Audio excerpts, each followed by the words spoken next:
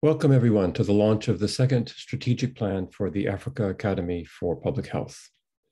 My name is Mark Elliott and I'm Vice Provost for International Affairs at Harvard University.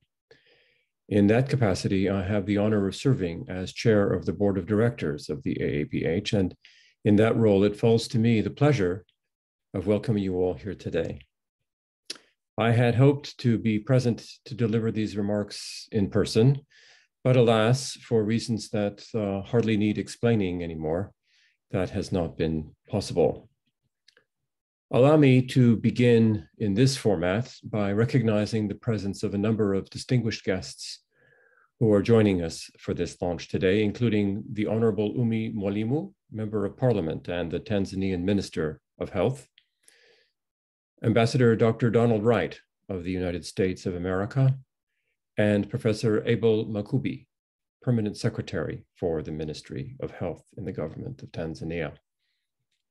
Let me also welcome my colleague and friend, Professor Wafaie Fawzi of the Harvard Chan School, who gave us the inspiration for creating AAPH, as well as Professor Till Bärnighausen, professor and director of the Heidelberg Institute of Global Health at the Faculty of Medicine at the University of Heidelberg, whose contributions over many years have been vital to the success of AAPH.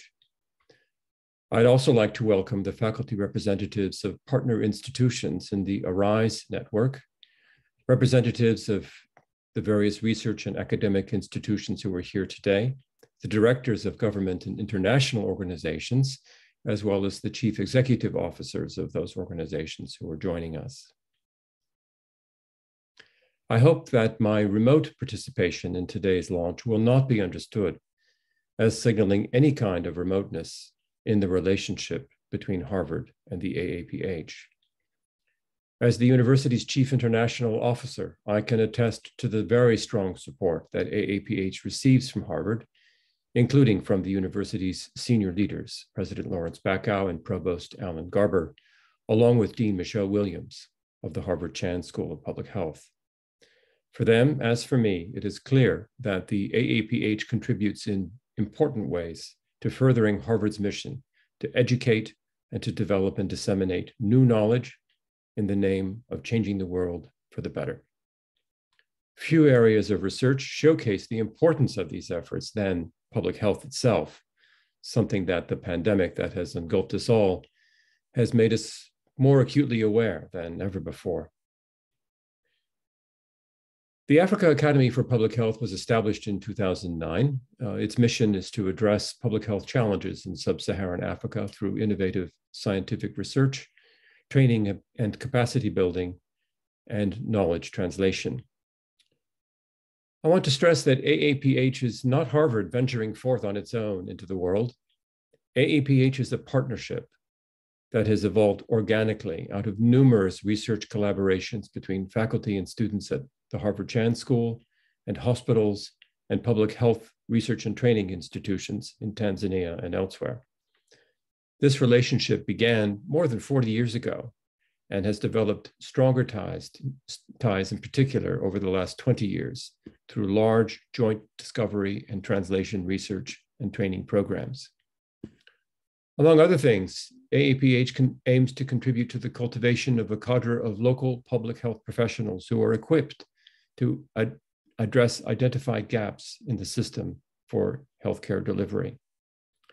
AAPH provides a platform for North-South and South-South learning to develop collaborative and sustainable research and programs with the aim of benefiting population health, both in Tanzania and in the wider sub-Saharan region.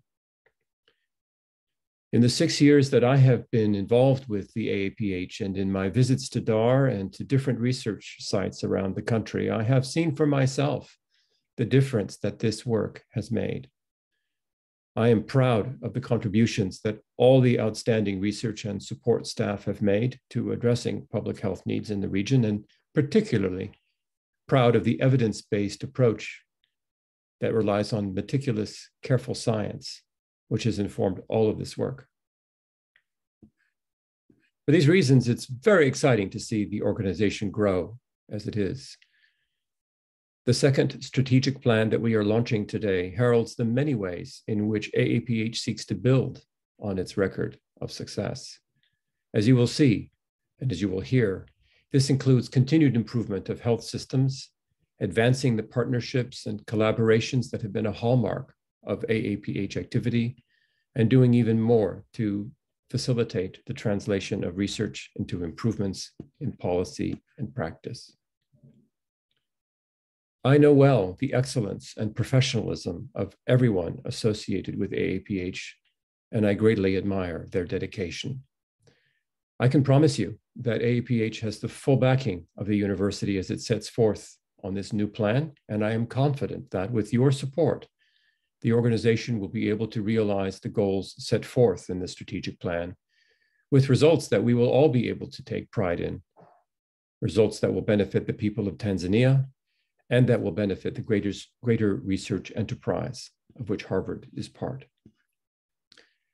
Let me conclude by thanking all AAPH collaborators and partners, especially the government of Tanzania, for your dedication to working together to improve public health. Let me also thank the US government and the American Embassy in Tanzania for its substantial support of AAPH over the years and its many partnerships, support that has taken many forms.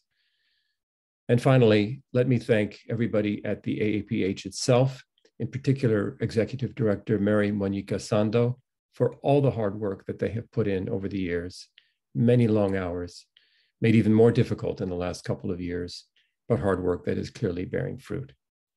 Again, welcome to today's launch, and thank you all for coming to join us today on this memorable occasion.